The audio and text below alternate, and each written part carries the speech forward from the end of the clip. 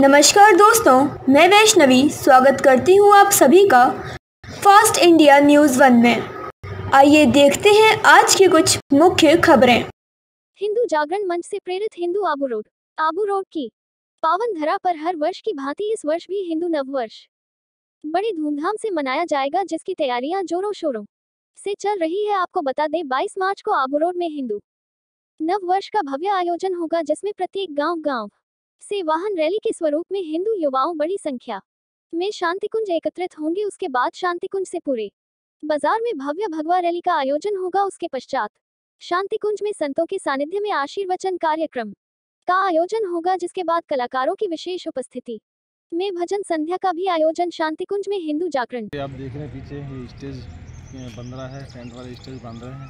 और कल जो तीन वाहिनियाँ हैं हमारे जो एक मावल से शांति कुंज की ओर आएगी, एक गिरवर चनार से शांति कुंज की ओर आएगी, एक कीवरली और ये आमथला होती आएगी।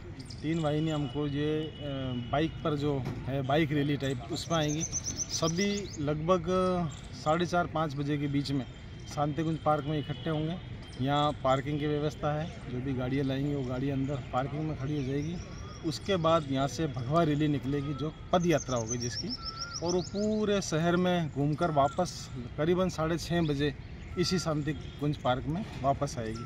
यहाँ पर आते ही भारत माता का पूजन किया जाएगा। उसके बाद भोजन की व्यवस्था है। उसके तुरंत बाद संतों का आशीर्वचन है और लगभग नौ बजे से भजन संध्या का कार्यक्रम है और तैयारी जोरों शोरों से है। लगभग तीन से चार हज़ार पब्लिक आने का अंदेशा है। और जो आप तैयारी देख ही रहे हैं, मेरे पीछे तैयारी चल रही है जोरों शोरों से चल रही है, उधर लाइट वालों की तैयारी चल रही है, और हमारे जितने भी कार्यकर्ता है, वो घर घर मतलब भगवा लगा रहे हैं गली गली भगवा लगा रहे हैं सड़क सड़क पर भगवा लगा रहे हैं, और तैयारी बहुत अच्छी चल रही है, और ऐतिहासिक कार्यक्रम होगा, जो पिछले साल हुआ था, उससे भव्य कार्यक्रम होगा, ऐतिहासिक कार्यक्रम। आज के लिए बस इतना ही, कल फिर होगी आपसे मुलाकात।